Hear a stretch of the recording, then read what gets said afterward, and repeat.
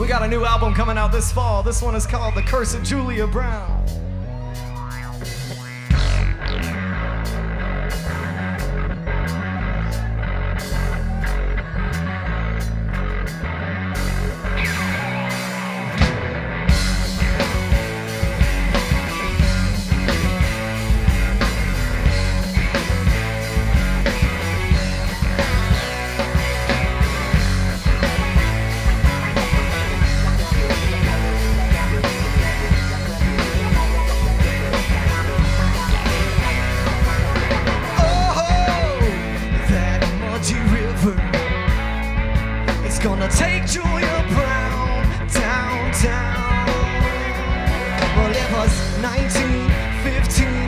the bayou. The legend still lives today. She put a curse on the